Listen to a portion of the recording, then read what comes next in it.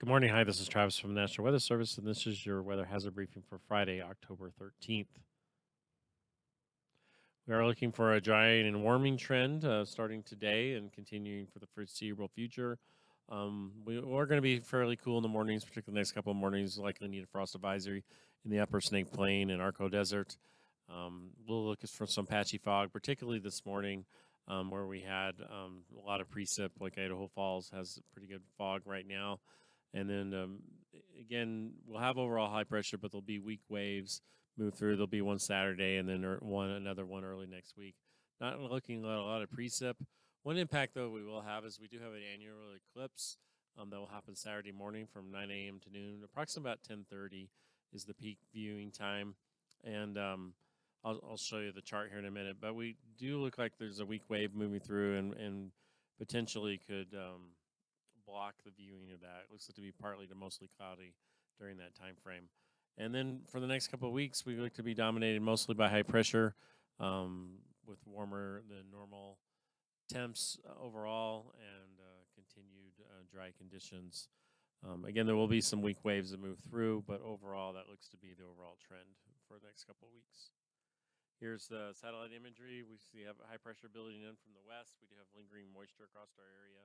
Again, Idaho Falls has some pretty low fog right now, quarter mile visibility, and uh, potentially you could see fog across the southeast highland and eastern highlands and lower areas. Particularly, they had a lot of good precip um, from from yesterday. Um, those are the areas here: the Snake Plain, um, eastern highlands, and then um, Lost River area, uh, Arco Desert is mainly where the frost advisory, as well as the Snake Upper and Lower Snake Plain for the frost advisory. I'll show you those temps here in a minute. Here's the low temperatures for this morning. Again, the, the best areas across the Arco Desert and lower and upper Snake Plain. At least uh, they could potentially get down below freezing in a couple areas. Um, models probabilities are showing it. They're very low, but there is possibility.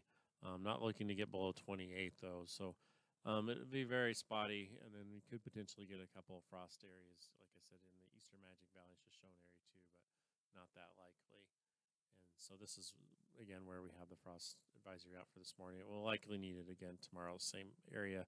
Here's our temperatures, mostly 40s, the mountains, uh, 50s uh, generally across the area with a few 60s to our west where that high pressure is starting to build in from the west today. And then there's your low temperatures Saturday morning. You can see again, likely in that 33 to 36 range for the frost advisory across our growing areas. Um, not as likely um, in eastern areas uh, excuse me, in the western areas. Particularly, we're going to have cloud cover moving in um, fairly early. So here's the the annual solar eclipse, 9 a.m. to noon. Particularly, it looks like about 10:30.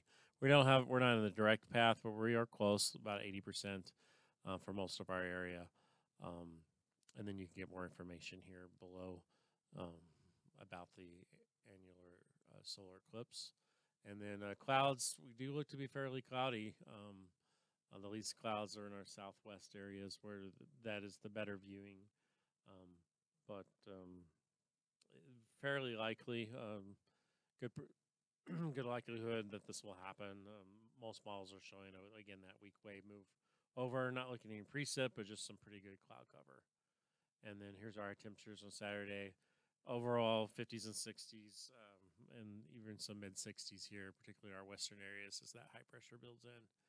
And overall, we're looking to be uh, um, uh, less precip than normal with a high pressure centered over to our um, just to our southwest. Um, you can see that in both uh, the precip outlook and the, the temperature outlook with the bullseye to our southwest. There will again be some weak waves that move through time to time, pick up winds, a little bit of cloud, but uh, maybe a little bit of precip to our north. But overall, looks to be overall dry and um, slightly warmer than normal not only 6 to 10, but also on the 8 to 14 um, due to overall high pressure. So again, just a dry and warming trend starting today and, and continuing into next week and perhaps even longer for next couple weeks. Frost advisory at least the next couple morning.